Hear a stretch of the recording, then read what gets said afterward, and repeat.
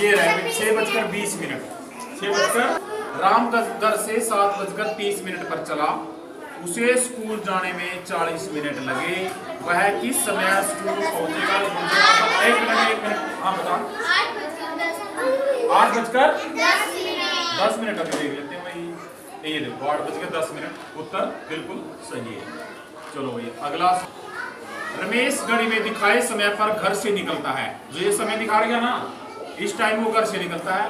वह एक घंटे चालीस मिनट बाद बाज़ार में पहुँचा। तो बताओ घड़ी में क्या समय होगा? मैंने तुम्हें बताया था कि बाद वाले टाइम में से पहले वाला टाइम घटा लेना। बाद वाला टाइम क्या है? इसमें से, इसमें क्या जोड़ना हमने? इसमें बाद वाला टाइम हमने निकालना होना तो फिर ये जुड़ जाएगा।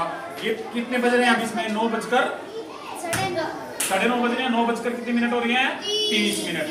अब नौ बजकर तीस मिनट में ये एक घंटा चालीस मिनट जोड़ लेंगे।